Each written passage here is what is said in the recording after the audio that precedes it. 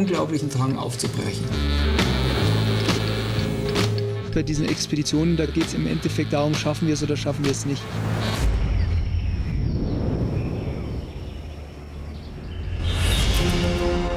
Dieser Augenblick, wo man sich kurz anschaut und so eine Verbindung dann spürt.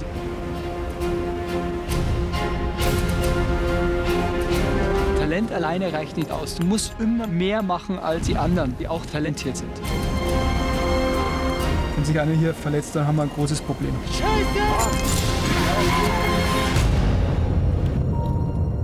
Man weiß halt ganz genau, dass jetzt der Zeitpunkt kommt, wo eigentlich ein Scheitern im Bereich des Möglichen liegt.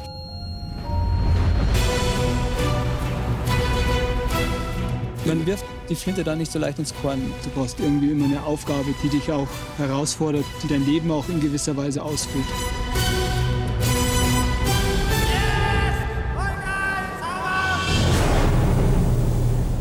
Du wolltest es schwer haben, jetzt hast du es schwer.